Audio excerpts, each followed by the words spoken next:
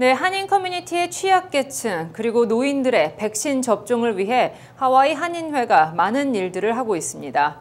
박봉용 한인회 회장을 만나 지난 400여일 동안 어떤 활동들을 해왔는지 또 앞으로 한인 커뮤니티 방역을 위해 한인회가 어떤 도움을 줄 수 있는지 들어봤습니다.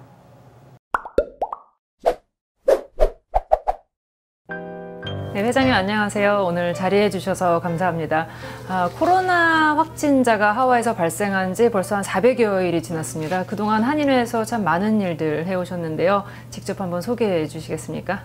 예, 2020년 그래 작년이죠. 미 본토에서 코로나가 발생한 후로 우리 하와이 한인회는 어르신들 비상 연락망을 어, 구축해서 좀 안부 전화를 매주 확인했습니다. 그 후에 이제 그 자택 대피령이 일어난 후로 어른들을 위해서 우리가 그 식, 식료품, 방역용품 이런 걸 계속 그 우리가 좀 매월 전달해 드리고 지속적으로 하고 있습니다. 예. 네, 회장님 의미 있는 일이고 참 누군가는 했어야 하는 일인데 이 비상 연락망을 제대로 갖추는 게 참 쉽지 않은 일이었을 것 같아요. 어떤 배경에서 시작하시게 된 건지 네, 사실 우리 한인회에서 그 매년 4년 동안 우리 교육관에서 어른들 한 150명 리스트를 가지고 4년 동안 계속 이분들 교육도 시키고 노래도 하고 좋은 시간을 보냈습니다. 그런 과정에서 그 비상 연락망이 연결돼서 그 뒤로부터 안부를 물어보면서 우리가 이제 매주 진행하고 있습니다. 그래서 이 동기는 우리가 사전에 그 준비를 다 해놓고 상황에서 코로나가 발생했습니다. 그래서 그 비상 연락망은 이미 우리가 가지고 있던 거라. 그래서 더 그 경쟁이 좀 효율적으로 우리가 그 대처할 수가 있었고 그 동포서에 알리다 보니까는 자제분들은 거의 다 이제 본토에 가 계시고 또 혼자 사시는 분들 많이 있습니다. 그래서 이런 분들이 연락이 와서 자기들도 도움을 달라 해서 이제 그분들을 추가해가지고 250명 됐어요. 아, 그러니까 그 어르신 중에 코로나에 걸리신 분이 있을 경우에 이제 지원을 옆에서 밀착해서 해주실 수 있도록 그런 이제 그런 연락망을 구축을 해놓으신 거였군요. 네, 실제로 그러면은 환자가 발생했나요? 다행히도 우리가 우리 한인에 등록돼 있던 독거 어르신들이 이분들이 이제 한 명도 그런 분이 나오질 않았습니다. 그래서 우리가 사전에 뭐 준비를 뭐 했냐면은 그 혹시라도 그 그런 그 확진자 나왔을 경우에 우리가 이제 식사 문제 그래서 그 식당도 우리가 다 어렌지 해놓고 또 식사를 배달할 수 있는 분들까지 우리 다그 발룬테를 마련해가 준비해 놓은 상태였었습니다. 다행히도 그런 분들이 없었고 그리고 우리 한인 사회가 더 밝은 사회가 아니냐 어른들이 튼튼하기 때문에 환자가 없었다 다행스럽게 생각하고 있습니다. 아, 정말 다행이네요. 그 어르신분들 입장에서는 마음이 든든하셨을 것 같아요. 혼자 계신 분들이 많았을 텐데 근데 그런 여러 가지 이제 물품을 또 구비를 하시려다 보면 자원봉사자들이야 이제 힘을 합해 주셨겠지만 그 물품이나 여러 가지 경비는 어떻게 해결을 하셨을까요? 이런 재원 마련을 어떻게 하셨는지. 사실 그 재원 마련이라는 거는 참 어려운 상태에 있었지만은 특별히 우리가 그 전부 이제 이사들이나 또 우리 그 동포들의 그 어, 좀 협조를 받는 그 발론티어들 뭐 이런 분들의 그 복귀돼서 나오게 됐었고 네. 우리가 1년에 10번을 했는데 매번 경비가 4, 5천 불씩 들어갔어요. 그러다 보니까 10번 동안 하셨다는 10번을 하다 보니까는 순간 거의 한 10만 불 정도로 그 비용이 들어간 상황인데 그걸 생각할 때 좀 엄청난 건데 우리도 어떻게 했는가 모르게 이 바삐 하다 보니까 네. 그 400여일이 지나간 것 같습니다.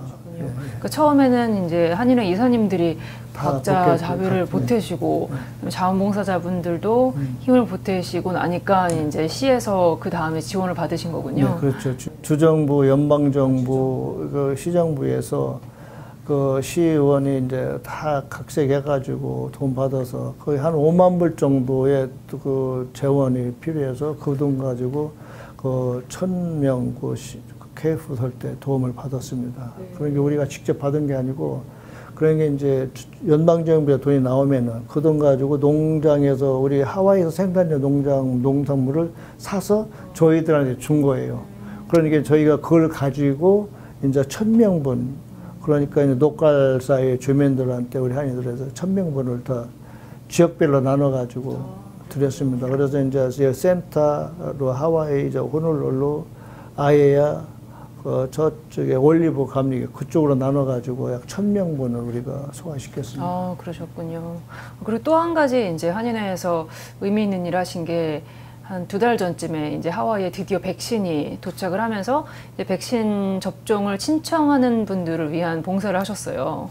그 일 한번 소개해 주시겠습니까? 사실 그 우리가 민원을 매주 합니다. 그 코로나 오기 전에도 뭐저 영어 관계 어려움들을 우리가 이제 월 화요일 날 수요일 날 목요일까지 계속 민원을 하다 보니까 이 어른들이 백신이 접종 문제 나오니까 그걸 어떻게 맞은 방법이 없는가 그 전화를 많이 오게 돼요. 그래서 이제 우리가 그거를 받아서 접수시켜주고 또 우리가 그 대응 역할을 하다 보니까는 우리가 참 정신없이 일을 해왔습니다. 이제 아무래도 그런 서류나 온라인으로 한다고 하더라도 전부 다 이제 영어로 돼 있고 아, 이제 기술적으로 이제 어르신들이 하기 힘든 부분이 많으니까 한인회에서 다 직접 대응을 해주신 거죠.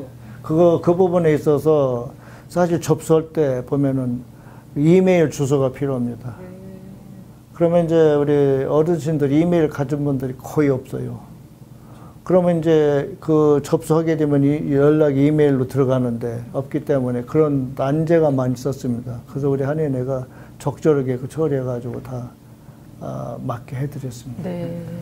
지난주에 이제 그 백신 접종 대상자가 일반인에게까지 확대되면서 그 소외계층을 위한 이제 봉사도 많아지실 것 같아요, 회장님. 앞으로의 그러면 어떤 계획 가지고 있으신지 그렇잖아요. 나눠주십시오. 예, 그 부분에 대해서 지금 이제 사각지대에 있는 분들, 또 보험도 없고 또 여러 개 상주하는 분들 이런 분들이 많이 있기 때문에 그래서 우리가 그 주정부나 시정부 담당자를 설득해서 좀 확답을 받아내고 이런 과정이 사실 있습니다만은 그래서 이제 제가 그 긍정적으로 받아들인 게 약 그 선착순이 한 100여 명 정도를 그 5월 8일 날 오게 되면은 가능성이 있다 봅니다. 그래서 이제 그 부분들 사각지대에 있는 분들을 어, 우리가 마지막 도와줘야 되지 않느냐. 그래서 의논을 해가지고 우리 시정부, 주정부 관계들하고 설득하고 있는 중인데 좋은 응답이온 것 같습니다. 아, 그러니까 신분상 합법적으로 접종을 받기 어려운 그런 분들. 곳에 처해 있는 분들을 위한 그런 일도 거예요. 유학생들이나 그다음에 이제. 그 신분증이 없는 분들, 그쵸. 보험이 없는 분들 음, 이런 분들 을 특별히 그런 분들이 사각지대로 보죠. 이런 상황에 다 백신을 맞아야 되니까 가능한 우리 한인 동포들이 어려운 일을 우리가 찾아서 해줘야 되는 과정이기 때문에 이런 일을 우리가 찾아서 해주는 게 우리 한인의 역할이 아닌가. 네, 아, 참 의미 있는 일 하고 계시는 것 같습니다. 그동안 그러면 총 몇 분 정도의 이제 한인 분들이 한인의 도움으로 백신을 맞았을까요? 우리가 한 1,400명을 그 계산 다에게 리스트가 있으니까 1,400명 정도의 그 백신 접종에 그 협조해 준 것 같습니다. 그래서 이제 회장님 그럼 오늘 뉴스를 보고 혹시 주변에 이런 독거 어르신이 있는데 이분에 대한 도움을 요청을 하고 싶다거나 아니면은 백신 접종이 필요한데 한인회 도움이 필요하다 싶으신 분들도 연락을 드려도 될까요? 그렇죠. 그거는 우리 지금 사무원이 이제 항상 상주고 있고 하기 때문에 저희들이 가능한 도울 수 있는 거 최선을 다해서 돕겠습니다. 그래서 이제 우리 좀 동부 이런 어려운 상황에 우리 같이 역경을 겪어 나가고 또 아울러 우리 한인들 우리 한인에 도와줄 수 있는 이런 일이 아닌가 생각해서 저 어려운 분들 있으면은 좀 저희들이 최선을 다해서 돕겠습니다. 네. 감사합니다, 아, 회장님. 그리고 혹시 자원봉사에 관심 있으신 분들도 있을 것 같아요. 아직도 자원봉사자 많이 필요하신가요? 아, 그 많이 필요하죠. 이번 당장 5월 8일 날에 자원봉사자들이 많이 필요합니다. 지금 한 80명 정도 발륜티어로 도움을 받고 있고 봉사하고 있습니다. 예.